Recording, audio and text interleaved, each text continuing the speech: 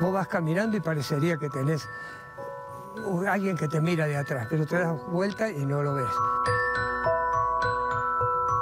Se sentían como presencia, se sentían, viste, como que no estás solo.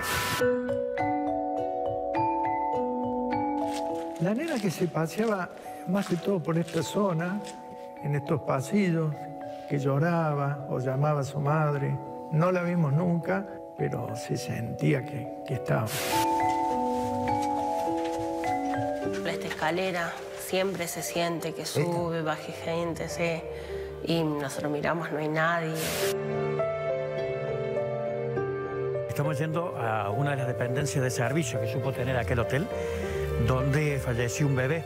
Se ha escuchado y lo he escuchado al llanto de, de un bebé.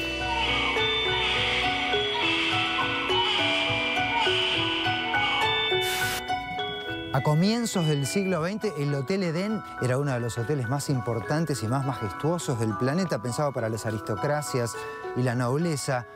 Más de un siglo y en tanto tiempo, adentro de estas estructuras, han pasado muchas cosas.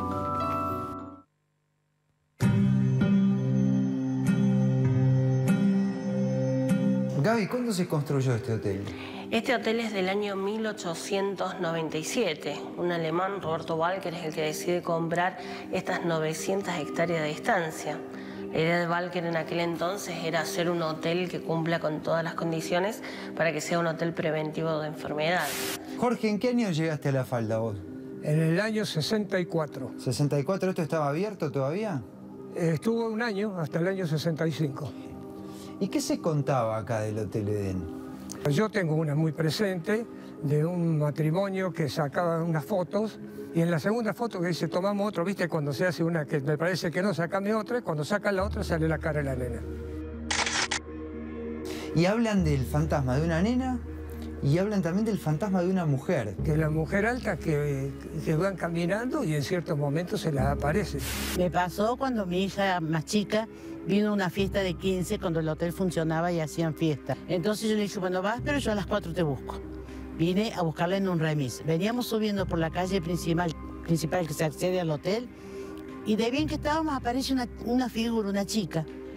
Y el remisero la vio igual que Claro, el remisero la vio y me dice, ¿y usted lo vio? Sí, le digo, yo también lo vi, no, no la veo.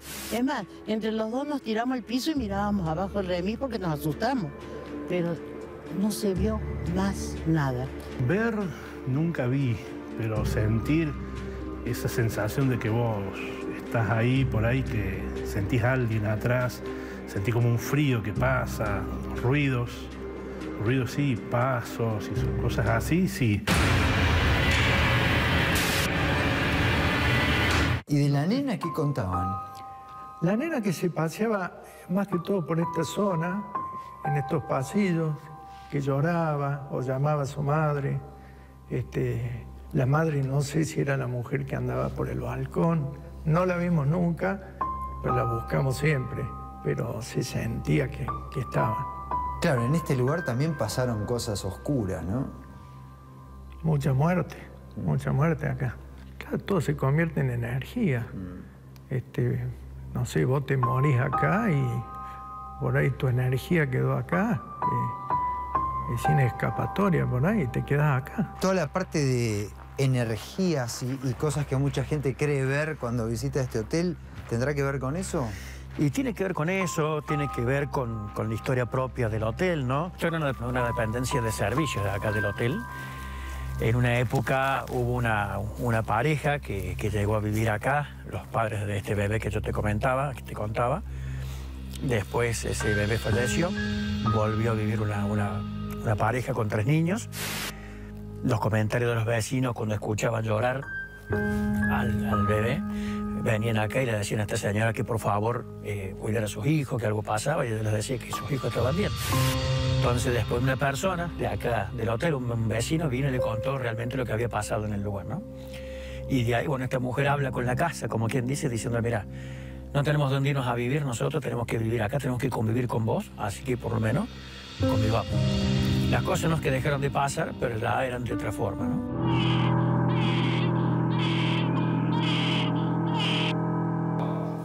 Acá Acá vino gente que se dedica a estudiar fenómenos paranormales, ¿no? Sí, vinieron bastantes. Y bueno, todos ellos llegaron a la misma conclusión, de que acá en el hotel hay actividad paranormal. Pero es evidente que no es negativa, no es mala, porque si no, no podríamos estar trabajando acá. En el 2007, a mí en particular, por diferentes circunstancias de la vida, me toca vivir a mí. ¿Y vos escuchabas llanto de bebé? ¿Vos durmiendo acá adentro? Y Yo durmiendo acá adentro. ¿Y llanto de bebé dónde? Y el llanto del bebé se escuchaba como por detrás de la casa, todo este sector, todo eso por allá atrás. Entonces yo, como te digo, una noche dije, bueno, salgo a buscarlo. Entonces yo salí a buscarlo, no encontré nada y eso es lo que me altera más todavía porque yo seguía escuchando el llanto de un bebé. Fantasma, bueno, básicamente se hablaba siempre de una nena y una señora. Pero había mucho, de muchos fantasmas se, se hablaba. Nosotros veníamos a buscar eso. Se sentían ruidos, el piano, el bebé que lloraba en las noches. A ver, para, vamos por parte. El bebé, a mucha gente menciona, gritos de una criatura. Sí, como llanto de dolor, de angustia de una criatura, decían ellos.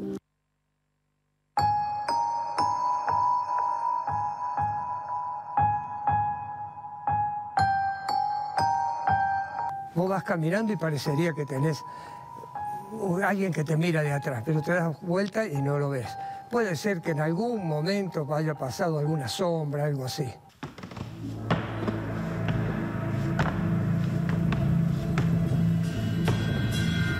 Y con respecto a una mujer adulta, ¿dónde la veían? ¿En el balcón al En frente? el balcón del frente. No, en el balcón que da el patio de atrás.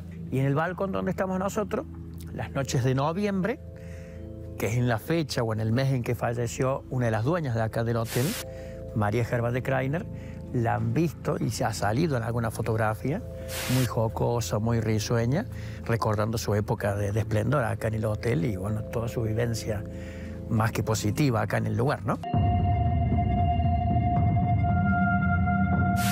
El Hotel Edén tiene dos caras. La parte restaurada y la inmensa parte que todavía está en ruina. Han sido demasiados años, demasiadas personas y demasiadas energías.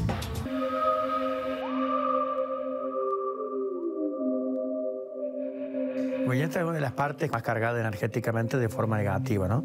Acá, más allá de que estemos en, en invierno, o prácticamente en otoño más que en invierno, eh, se ve, se notan esos cambios de temperatura, la sensación de, de que, hay, que hay alguien que no es de carne y hueso, que no es un ser vivo, pero están presentes en el lugar.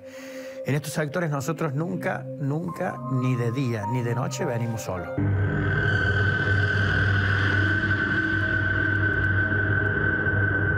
Sentir que te miran, sentir escalofrío de golpe, que estás lo más bien y sentir un frío que te congela, o ves para un costado y pasa algo. Eso era constante acá.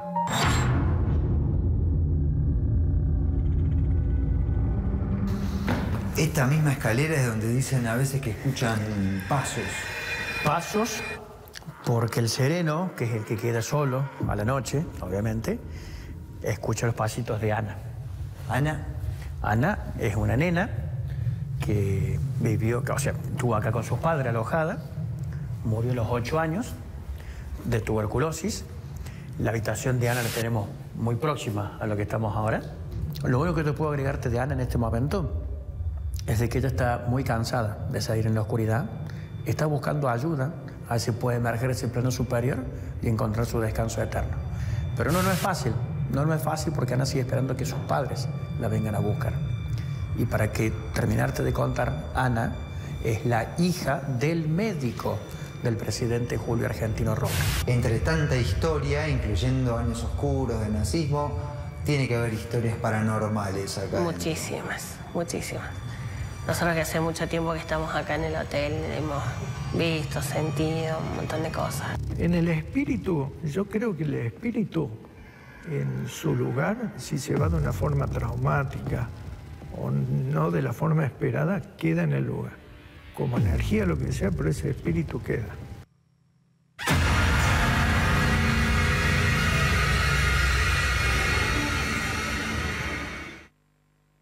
O sea, que preguntaban, "Te- me estoy asombrado de mirar el, el WhatsApp, no entré a redes sociales todavía, de mirar el WhatsApp de la gente que tiene mi WhatsApp y que me manda, me manda, Edén, ejemplos. del Edén, del Edén. Ah. Obvio. Todo- muchísima gente que pasó por el hotel. Gonza Rodeño que le manda un beso a la tía Gracia, un montón que les mando. Que tienen cosas para contar del Hotel Edén. El Hotel Edén se puede visitar. Sí. Pues Tiene visitas guiadas, no valen dos mangos, 300 mangos vale visitar el Hotel Edén. Digo, para el que le pique un poco el bichito y no lo conociera, es un hermoso lugar donde van a encontrarse con estas partes de la historia y van a encontrarse con una inmensa parte de la historia ¿Cuentan argentina. eso en la, en la visita guiada? ¿Te cuentan? Si preguntás, sí. Ah, ah, ah, hay que preguntar. No, porque es un Sí. buen gancho, ¿no? Sí. A la gente, algunos que preguntás- tendrán miedo y dirán, no, yo si hay fantasmas no voy. Claro. Pero Yo mucha te digo gente la sí. última y me retiro. Hay, Fantahuésped. hay un correo electrónico, hay algo más allá, arroba artear.com, porque estas cosas generan... Hay algo más allá. Hay algo más allá, arroba artear.com, es el nombre de la sección, hay algo más allá. Eh, estas cosas generan mucho del otro lado con ustedes que nos están viendo en todo el país. Gente que después me cuenta cosas que por ahí después sale otra nota de ahí o vamos a visitar casos que ustedes propongan. Te digo la última y me voy. Eh, cuando terminamos de hacer la nota eran casi las 2 de la mañana, terminamos de hacer la recorrida y en un momento me dicen los que me estaban conduciendo, estaba con equipo de cámara yo, me dicen, hagamos una cosa, Darío, ¿querés quedarte cinco minutos solo acá? No me digas que te animaste. Cinco minutos solo. ¿Te de ninguna manera. ¿Pero por qué? De ninguna manera. De ninguna manera. O sea que le tenés un poco de... Me dijeron, quédate cinco minutos solo. Te prometemos que nadie te va a golpear una puerta. ¿no? Estamos del otro lado nosotros. Quédate cinco acá y después volvé. Y contame. El frío, la... No me... Yo no me quedé. Muy bueno. Soldado que huye sirve para...